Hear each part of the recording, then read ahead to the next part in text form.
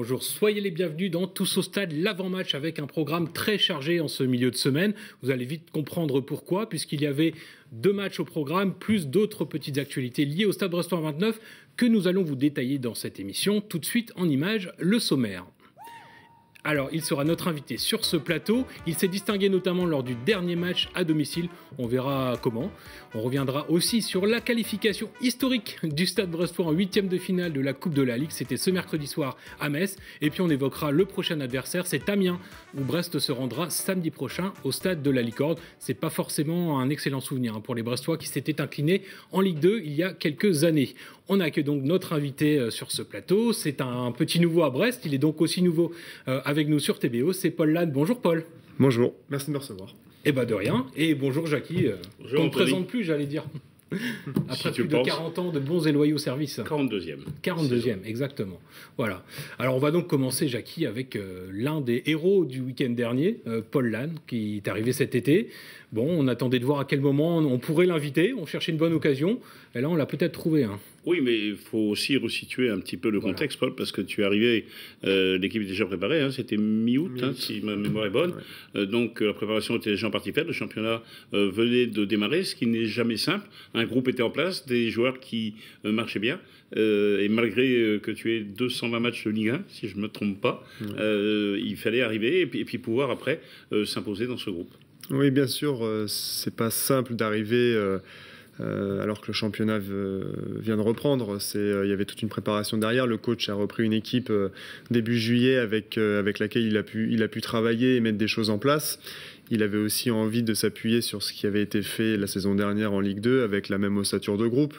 Et donc il a, il a travaillé avec ce groupe-là et je suis arrivé moi mi-août avec euh, quelques autres, euh, évidemment un petit peu euh, à contre-temps. Donc il a fallu euh, se mettre dans le tempo de cette équipe, rentrer petit à petit avec, euh, avec les affinités des uns et des autres et puis faire sa place. Mais bon, ça c'est le propre à chacun. Oui, puis c'est, comme Irvine Cardona et Alex Mendy, hein, qui, parlent de- qui étaient Ouais, dans le sûr, cas ouais. Irvine, Irvine, était, arrivé quasiment ouais, avec moi et Alex encore après. Donc, bien sûr, ça, c'est dû aussi à, aux dates du mercato qu'on peut aussi remettre en question, puisque je trouve que c'est un peu une aberration de, de mettre un mercato qui se termine jusqu'au, enfin, qui se terminait, je crois, cette année au, au 2 2 septembre.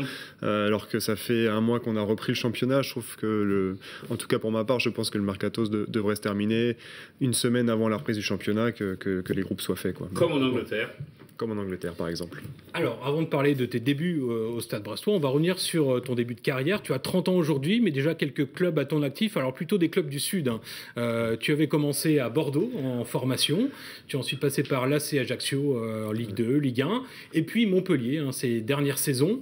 Montpellier où tu as vraiment euh, commencé à t'installer en Ligue 1, et même euh, Jackie a marqué quelques buts. Oui. Hein, c'est pas, c'est pas nouveau ça. On a non plus. retrouvé quelques-uns?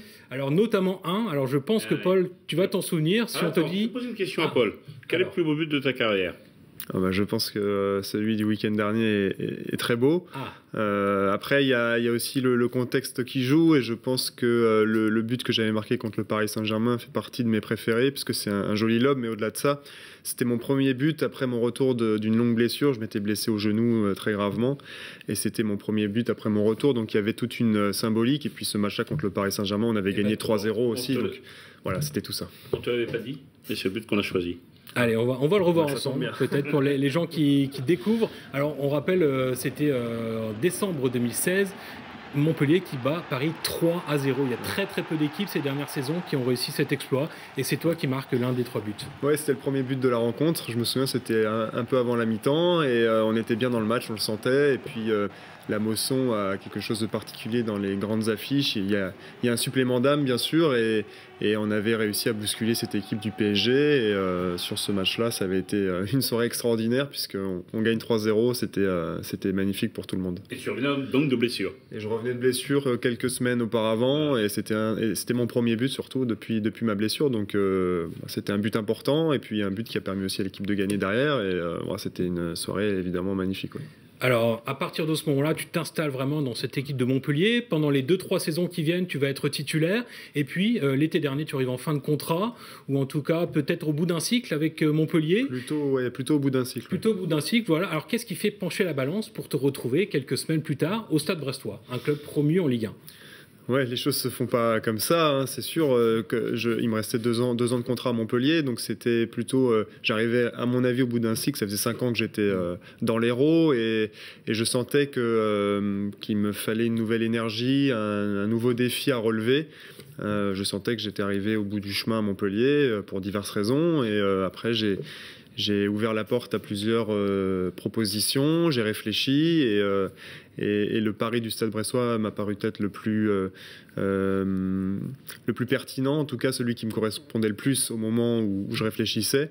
Euh, parce qu'il y avait cette montée en Ligue 1. Donc du coup, cet esprit un petit peu positif et cet élan positif après cette montée en Ligue 1, et puis un beau challenge à relever. Et, surtout, je, savais que le, que le Stade Brestois, Brest, c'est une terre de foot, et j'avais envie de retrouver un peu ce, parfum de vraiment de ferveur et avec des supporters vraiment derrière leur équipe. Et, on, on, en a la preuve en ce début de saison, puisque tous les matchs sont, sont à guichet fermé. Donc c'est c'est vraiment galvanisant et très flatteur pour les joueurs et c'est aussi ce qui a fait euh, que j'ai choisi Brest.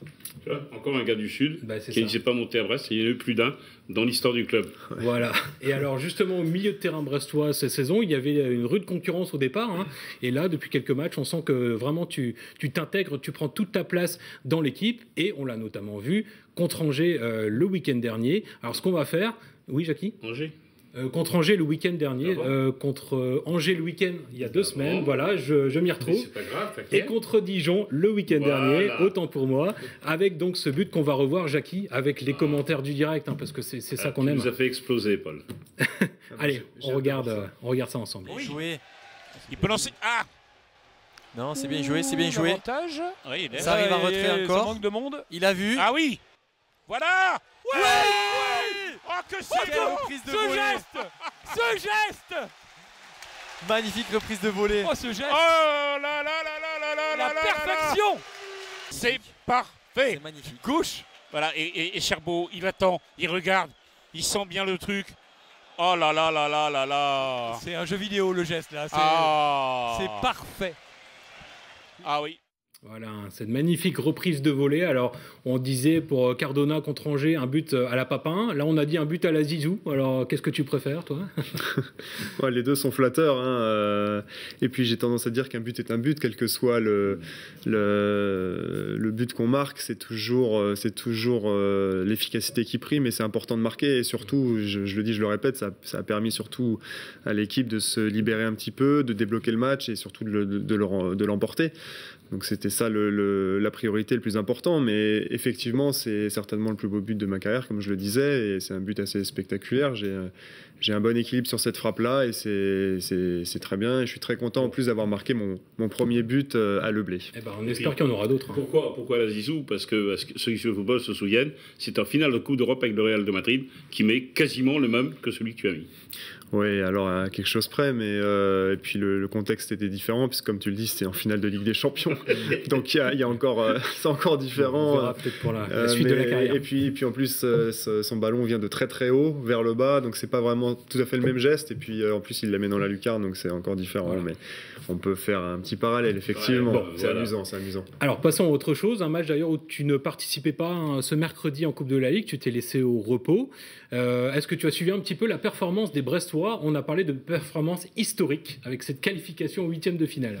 Oui, bien sûr, j'ai regardé le match. Euh, c'est, comme tu le dis, historique, puisque c'est une première, je crois, une qualification au huitième. Donc, euh, donc euh, en plus, on a, il était temps, puisque c'est la dernière édition de la Coupe de la Ligue. Donc, c'était cette année ou jamais. Et c'est très bien, puisque ça montre aussi que dans la rotation que le coach avait mise en place sur ce match-là, tous les joueurs ont, ont répondu présent. ça montre qu'il y a une homogénéité dans le groupe, que tout le monde se tire vers le haut. Et c'est très bien, c'est très positif d'avoir cette euh, dynamique de, bons résultats, de, matchs positifs, puisque ça, ça, influe quelque chose de, de, bon pour la suite. Et tout le monde a joué le jeu et euh, on a la chance d'être qualifié. On a hâte de voir contre qui on va, on va tomber sur le prochain Alors, figure-toi que nous non plus, on n'y était pas avec Jackie, mais on a envoyé notre euh, envoyé spécial, hein, justement, Pierre-Yves Cavarec, pour récupérer quelques images. On va découvrir son reportage tout de suite de ce match, donc gagné par les Brestois à Metz mercredi soir.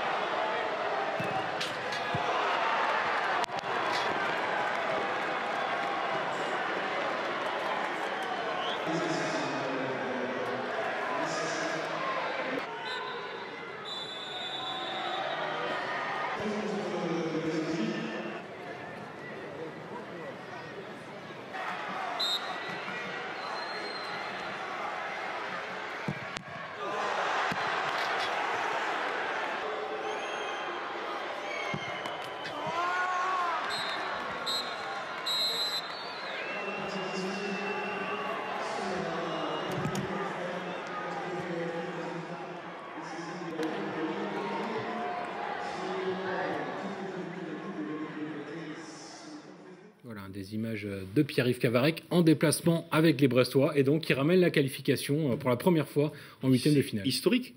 ça fait combien de temps qu'elle existe cette Coupe de Ligue Plus de 20 ans? On n'a jamais quasiment rien fait, peut-être euh, euh, passer un tour, mais quand on était en, en Ligue 2, mais jamais était en huitième de finale où on va retrouver les grosses équipes, PSG, enfin toutes les équipes qui jouent euh, une Champions League ou une Coupe d'Europe. Tirage le 12 novembre, match, ce sera vers le 16-17 décembre, peut-être, avoir une grosse affiche au Stade de Blé et vibrer. C'est bien pour une fois de jouer à domicile hein, en Coupe. Euh, Absolument. À noter qu'il avait changé toute l'équipe. Hein. Ouais, une grande partie de l'équipe, euh, et donc ça marche aussi, on l'a vu. Et comme tu l'as dit juste avant, l'homogénéité, il faut quand même le, souligner parce qu'on l'a pas trop senti. Et un bon Donovan Léon dans les buts qui a arrêté deux pénalties, et puis même quasiment un troisième et qui est allé dans les buts. Et c'est ça qui permet d'arracher la qualif. Allez, on écoutera quelques réactions après ce match. Ce sera juste après la pause.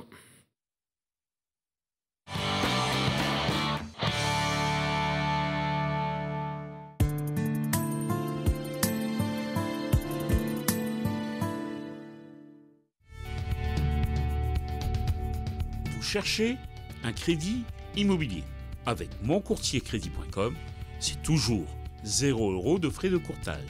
Les meilleurs taux du marché? Une réponse sous 48 heures. Avec moncourtiercrédit.com, gagnez du temps et de l'argent.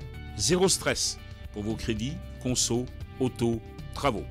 Contactez-nous dans une de nos sept agences ou en ligne sur notre site.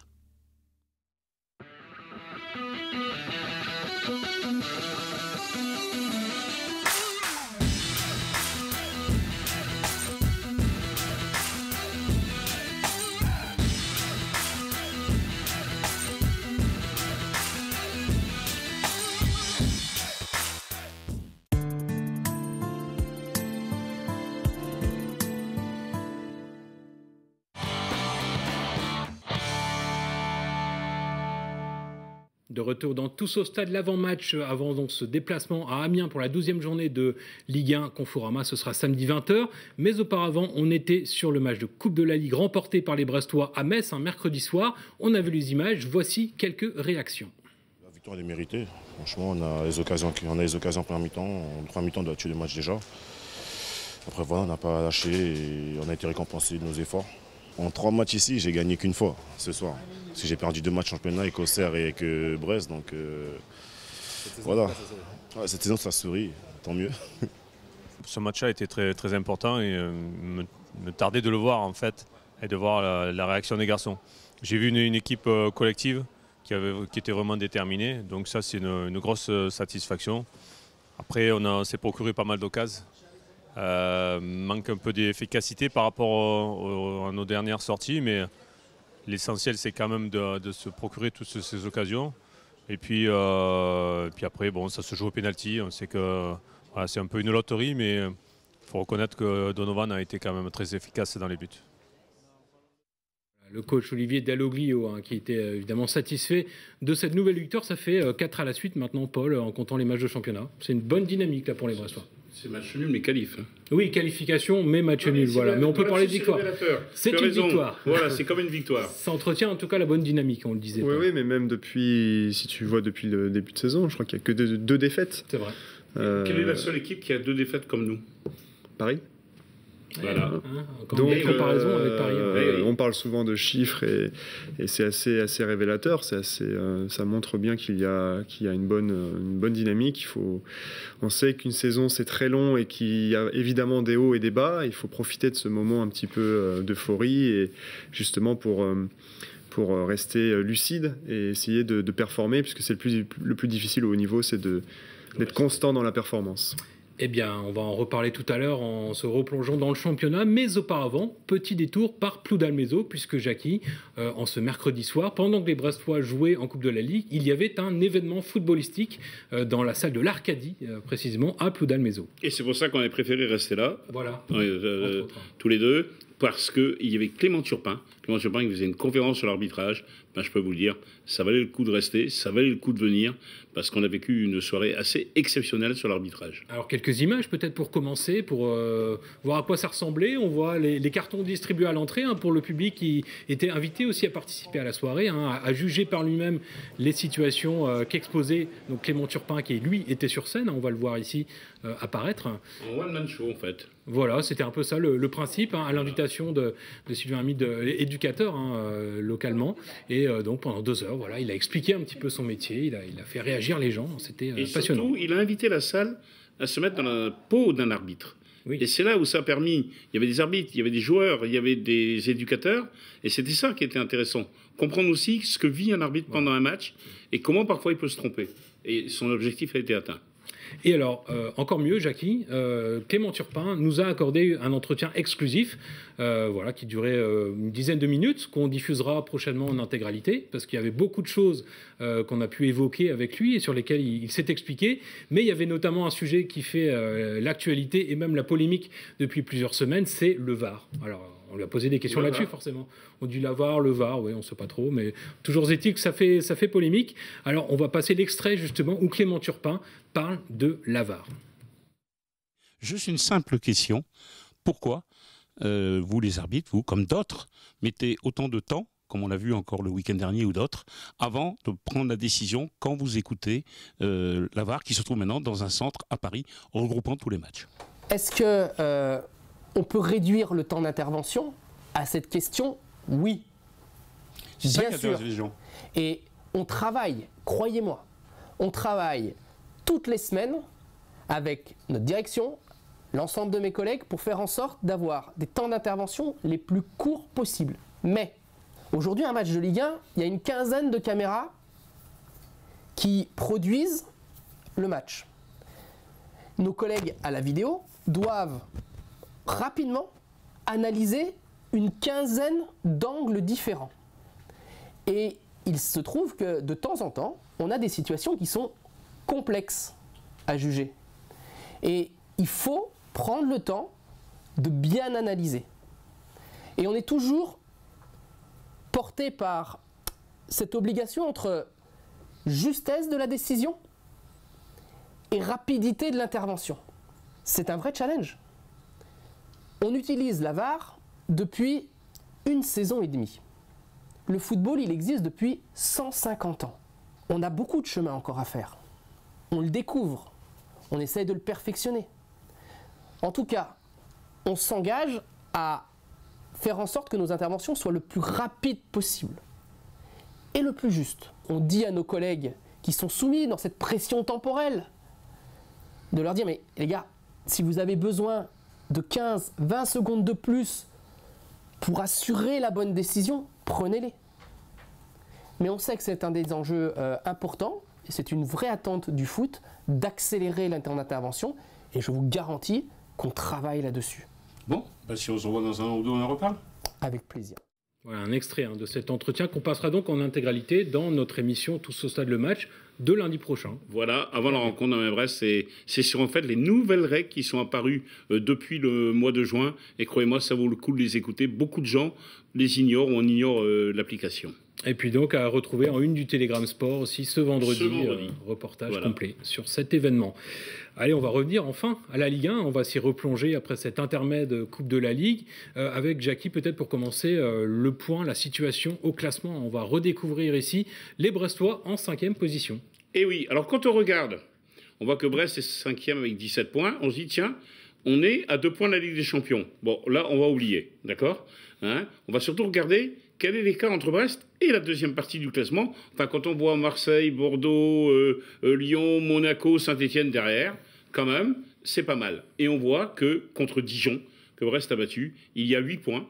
Voilà, et c'est ça qu'il faut retenir de ce qui s'est passé le week-end dernier, et également d'avoir battu Metz. Au prochain week-end, ce week-end, on verra entre autres que Metz reçoit Montpellier, que Dijon va recevoir le PSG qui actuellement bah, terrasse un petit peu tout le monde.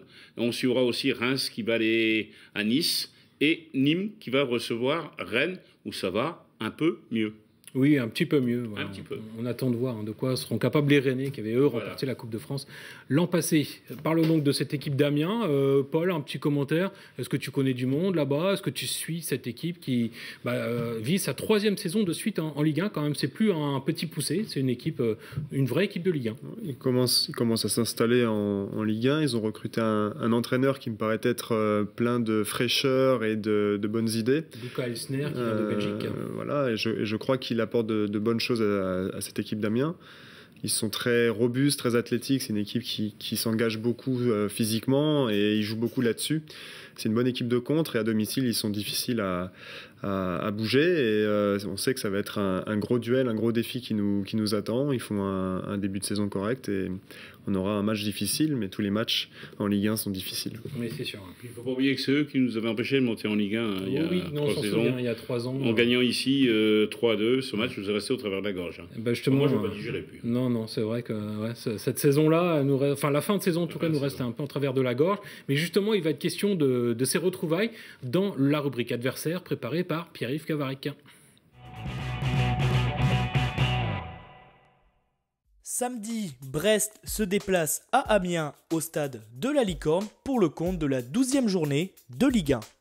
Les Picards enchaînent leur troisième saison de suite dans l'élite, ce qui est déjà un petit exploit.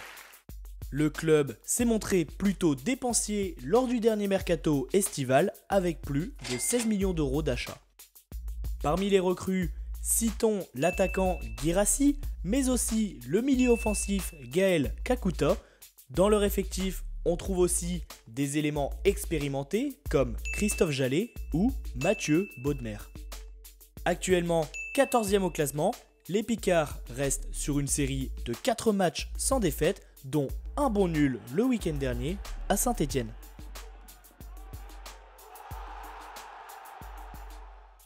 Mais à domicile, l'équipe de Luc Elsner a du mal à s'imposer avec déjà deux défaites au compteur, notamment ici, face à Bordeaux.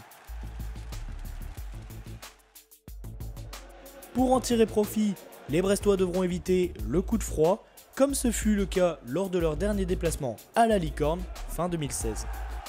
D'ailleurs, en 11 déplacements, Brest ne s'est imposé qu'une seule fois à Amiens, c'était en 1978. Mais dans leur histoire, les deux clubs ne se sont encore jamais affrontés en Ligue 1. L'occasion sera belle samedi soir de commencer un nouveau cycle. Bon, on l'a compris, hein, Jackie, il y a un petit déficit euh, euh, en défaveur des Brestois contre Amiens, donc c'est l'occasion d'aller rétablir ça. tout. C'est ça. Parce que Brest n'avait jamais battu Dijon au domicile à 10 rencontres. Voilà. voilà. N'était jamais allé en huitième de finale de la Coupe de la Ligue. Voilà. Et maintenant, tu sais ce qu'il te reste à faire. Euh, oui, oui, oui, non, mais c'est bien de, de, casser un petit peu euh, ces mauvaises, euh, mauvaises dynamiques. Euh, je crois que c'était le cas aussi à Saint-Etienne. Il y avait une histoire avec Saint-Etienne aussi. Et on, a, on a réussi à ne, ne, pas perdre. On a fait match nul là-bas. Donc c'est bien d'avoir de casser des dynamiques négatives, d'insuffler un nouveau souffle et de, de nouvelles nouvelle dynamique plutôt positive cette fois-ci, mais on sait, je le dis, je le répète, euh, tous les matchs sont difficiles, on reste sur trois victoires en, championnat, et le plus dur, c'est de garder ce niveau d'exigence, de, de, performer, et de... Voilà, je pense que si, euh, si on revient avec quelque chose de positif, que ce soit un point ou trois points, on aura fait le job avant de recevoir dans, dans dix jours maintenant le, Paris Saint-Germain euh, à Leblé. sur le gâteau la cerise sur le gâteau avant la trêve, la trêve de novembre.